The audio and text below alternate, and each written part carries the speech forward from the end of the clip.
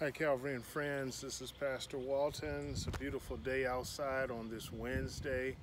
Miss you all. Hope that you all are doing well. Um, we are trying to get back into the sanctuary. Um, looking at the month of July now because of the recent spikes. Um, this has truly been a time, but I do hope that you have made the most of it. Um, everything is opening up uh, bit by bit, and uh, we're going to be opening up, uh, like I said, hopefully in the month of July.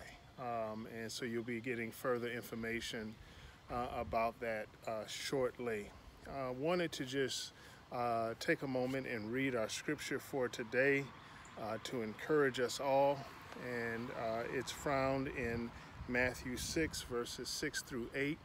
And it reads, But you, when you pray, Go into your room, and when you have shut your door, pray to your Father who is in the secret place.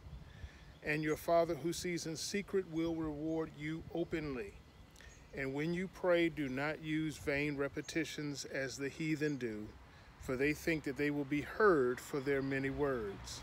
Therefore, do not be like them, for your Father knows the things you have need of before you ask him. What a wonderful uh, Heavenly Father that we have who already knows what we need even before we ask him. Um, we're asking, when we ask, we're not asking for him because he already knows. We're asking to exercise our faith in him. So that means that we're actually asking for our own good.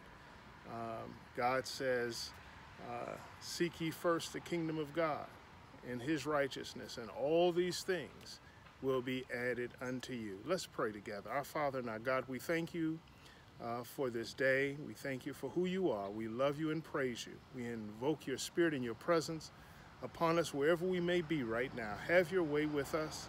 In the name of Jesus, we pray. Amen. God bless you. Have a great day and have a great rest of the week.